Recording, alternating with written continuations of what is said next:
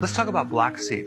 There's a study. Apparently, black seed is a significant inhibitor of solid tumors in mice, neuroprotection. So if there's um, a lot of free radical damage or oxidation going on in the brain, black seed can help counter that. So it's a powerful antioxidant. It can protect against kidney disease, like a kidney problem from having diabetes, or a kidney problem that is developed from a person taking uh, Tylenol, antibiotics, certain steroids. So black seed oil is very, very protective on the kidney if someone is in a situation where they have to take certain medications that have a lot of side effects. It can also help to inhibit dermatitis, which is a skin problem. It can help support the immune system by increasing phagocytosis, which are the cells that gobble up and clean up infection. And it's anti-gas. So in summary, black seed pretty much handles about every single problem that you may experience.